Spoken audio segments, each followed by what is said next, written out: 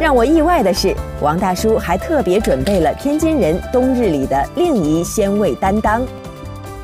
哎呦，这螃蟹太肥了，是吧？这是咱们天津本地的螃蟹吗？对，这天津稻田蟹，看着真的太诱人了。，要不说天津说，到这季节特别正肥的时候，嗯，借钱买海货，不算不回国，都是俏皮话啊，借钱买海货啊。对，就是这个季节，这季节我没钱怎么办？我借，我先当一下借我也得吃。哎，我手表先搁当铺去，拿点钱出来，我得把它吃，把它对吃，对对对，这这就这馅儿吃上。这天津人这么做法。对你要外地人是不会过日子，借钱都买海货去。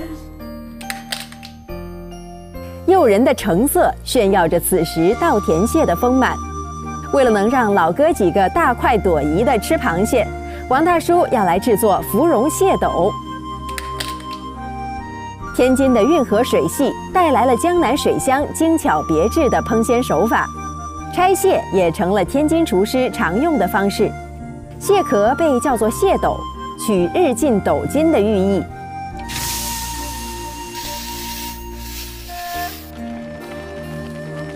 将蟹黄、蟹肉炒香入味，再装回蟹壳，用打发的蛋清封住开口，入锅蒸熟。